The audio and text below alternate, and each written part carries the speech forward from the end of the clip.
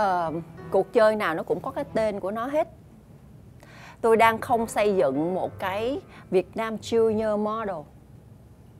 Tôi đang không có làm chương trình về thôi cho thời trang về trẻ em ở trong cái phiên bản này. Đây cũng không phải là Việt Nam Next Top Model mà tôi theo tiêu chí của thời trang của người mẫu. Đây là The Next Gentleman. Các bạn nghĩ đi một người đàn ông của một người phụ nữ cần hoặc một người đàn ông khác cần có tố chất gì? Có tố chất gì? Ngoài cái sự đàn ông bản lĩnh, dám chịu trách nhiệm. Đúng không? Dám chơi, dám chịu. Các bạn cần sự nam tính. Các bạn nhắm chắc nếu chúng ta đang cast thí sinh trên 18 tuổi thì những câu chuyện 18 cộng, đó là câu chuyện bình thường trong một thế giới đàn ông hoàng mỹ. Thì tại sao các bạn lên án về những cái chữ mấy rồi những cái hành vi có nghĩa là, ủa, cái người lớn nào mà không cần có những cái khả năng về tính dục? Chúng tôi quay lại câu chuyện của hình ảnh của cô Xuân Lan với nhiều thế hệ học trò con nít. Nó hoàn toàn tách biệt với The Next Gentleman. Và hình ảnh của tôi, những drama của tôi, những cái phát ngôn của tôi liên quan đến The Next Gentleman, nó chỉ nằm trong khuôn khổ của The Next Gentleman thôi. Nó không áp đặt cho tất cả học sinh của tôi. Tôi thừa biết tôi là ai, tôi làm gì và thế hệ học sinh của tôi nó đang vẫn như thiên thần và tôi đang có chuẩn bị một cái show Junior Fashion Week vào ngày 8, ngày 9, ngày 10 tháng 4 với chủ đề kêu gọi bảo vệ quyền trẻ em. Tôi làm gì ra cái đó? Và lần này chúng tôi đang kêu gọi một cái thông điệp xây dựng cái tổng đài 111 giải cứu trẻ em trên toàn quốc 24 trên 24 và câu chuyện dựa trên cảm xúc từ bé Vân An tôi tôi là một cái người mà để đánh giá đạo đức khi người ta phát ngôn trong một cái chương trình này cho toàn bộ quãng đời của người ta. Những người nào mà đánh giá kiểu đó thì tôi cũng không chấp. Chúng ta phải tách bạch rõ ràng trong khuôn khổ của chương trình chương trình nào ra chương trình đó. Tôi đem cái khuôn khổ của quý ông hoàng mỹ, the next gentleman, tôi làm cho hoa hậu việt nam, tôi sai. Tôi nhảm nhí, tôi tào lao, tôi là người không có kiến thức. Nếu tôi đem cái này về hoa hậu hoàng vũ show truyền hình thực tế hoa hậu vũ cũng sai, sai luôn. Đúng không ạ? Và tôi đem cái này về next top model sai nốt tôi đem cái này về The Face cũng không phải luôn. Các bạn đưa ra tiêu chí của quý ông Hoàng Mỹ là như thế nào? Bởi cái đó câu hỏi đó là tôi đặt ra rất dữ dội trong tập 2 nhưng mà chương trình không có dựng lên. Tôi hỏi Dược Sĩ Tiến rất rõ là tiêu chí của chương trình là gì? Nếu chúng ta muốn coi Fashion Week chúng ta ra ngoài kia, Việt Nam International Fashion Week hoặc là Novaland, họ cũng làm Fashion Week ở City Gym đó. Phiên bản nam rất là nhiều. Và chúng ta search lên Fashion TV coi, phiên bản nam rất là nhiều. Thì việc gì chúng ta đến đây ngồi cãi nhau um sùm ẩm tỏi trong cái The Next Gentleman để chúng ta tìm kiếm những người mẫu? Tôi nói luôn, tôi làm đạo diễn khách quốc rất nhiều năm rồi từ năm 2004 tôi đã làm đạo diễn catwalk. Cho tới cái năm tuổi nghề của tôi, năm nay là 26 năm. Nhưng mà cho đến khi tôi làm đạo diễn catwalk thì là 18 năm rồi. Tôi đến đây tôi không xây dựng tôi là đạo diễn catwalk. Hoặc tôi không xây dựng tôi là một người đào tạo người mẫu rất giỏi.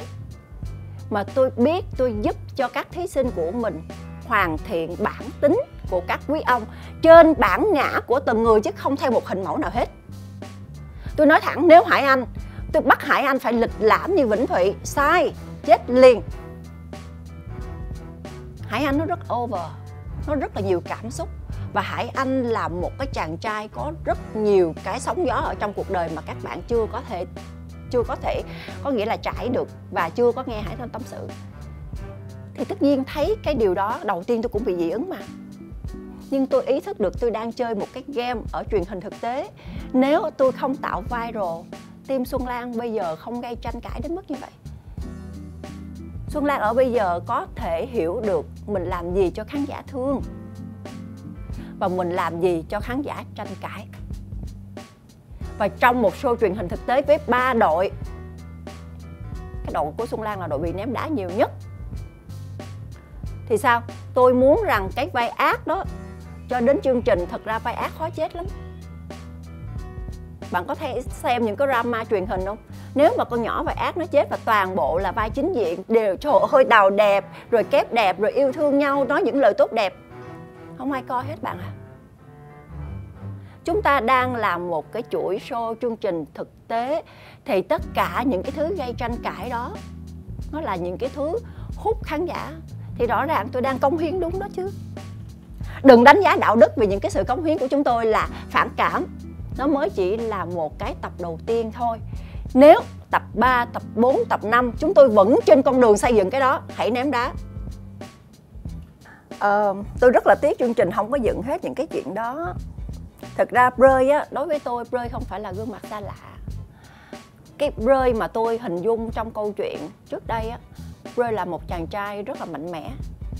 Và Brơi khi xuất hiện trước mặt chúng tôi ở trong cái vòng casting nói nha casting lúc mà ra diễn giải ở ngoài đó. Ray rất là hiền, rất là nhẹ nhàng. Và tôi nói thật ra là khi em chia sẻ, em đến từ cái vùng cao. Em là một cái người ẩm thực dân tộc thì tôi rất là mong em có cái lửa của mình. Để sao? Tất cả những cái lửa của những cái người đó nó làm cho chúng tôi cảm thấy em mạnh mẽ hơn và cái đó là cái điều mong muốn của tôi khi mà tôi chọn thí sinh về đội của mình bởi vì thực sao, nếu mà bạn cho tôi nhìn thấy cái lửa đó, tôi có quyền lúc đó là rơi chưa thuộc về team Hà Anh? Tôi có quyền đặt câu hỏi để tôi có thể chọn lựa rơi về đội của mình để tôi đào tạo chứ. Thì tại sao tôi là tội đồ được? Tôi không xúc phạm, tôi không kỳ thị. Các bạn muốn, các bạn có thể liên lạc với ban tổ chức để có thể xem lại những cái sượt đó. Tôi nói cái đó phim trường rất nhiều người, cả trăm người chung quanh. Đúng không ạ? Tôi hỏi lương gia huy em cảm thấy sao? Thì lương gia huy nói em mới vừa khóc. Ở trong cái vòng ở trong cái vòng uh, phòng chờ của tôi với hương giang ngồi để chờ hà anh loại tôi có giao lưu vài câu.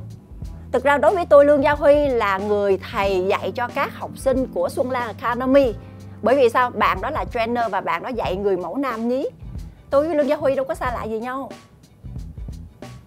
Không có xa lạ chị em làm việc rất là nhiều và lương giáo huy ngoài là người mẫu diễn trong show của xuân lan là còn là người thầy dạy cho những học sinh nhỏ của xuân lan nữa.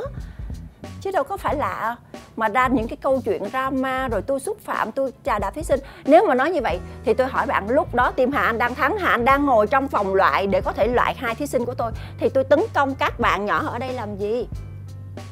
Tôi có nói một câu ở trong cái vòng tôi dạy về catwalk tôi nói rằng đối với các em ở đây, cho dù các em là team nào, thì chị cũng xem các em như nhau và các em sẽ được chị hết hết sức dạy cho các em là để khắc phục khuyết điểm và để đưa cái ưu điểm của mình lên. Thì tự nhiên qua cái câu chuyện về mất mẹ thì tự nhiên tôi thành tội đồ thế này. Tôi thấy lạ và tôi cũng thấy tức. Có nghĩa là tiếc tiếc cho một số người. Cái bản lĩnh quý ông là một cái chuyện các bạn đó không có thể thể hiện qua những thử thách của chương trình. Mà theo tôi á, tôi sẽ đánh giá trên cái sự ứng xử của các bạn nữa. Một cái người đàn ông không thể nào sẵn ra về mát mẹ